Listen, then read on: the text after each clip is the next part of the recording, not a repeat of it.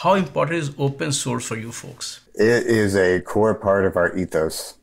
We are deeply rooted in the open source philosophy and movement. It's deep in our hearts. And we will continue to serve that community by providing support to foster growth and adoption, enablement, and innovation, uh, especially by promoting portable, battle tested, open source solutions that power today's industry, as well as support for those that are still developing, incubating, and emerging.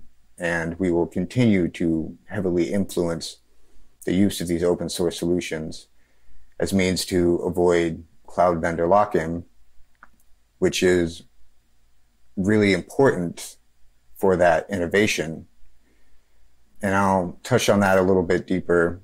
By design, getting locked into a particular environment and only having access to the services provided within, by design, that is more limiting than something that can use those resources as well as everything else that's out there. So these open source solutions that, as we talked about, are under the hood, what's powering even a lot of the proprietary services, but then promoting that in a way that it can run across different providers so that you can be more modular and be more adaptive to the emerging trends. And that all comes down to why it's important open source and portability.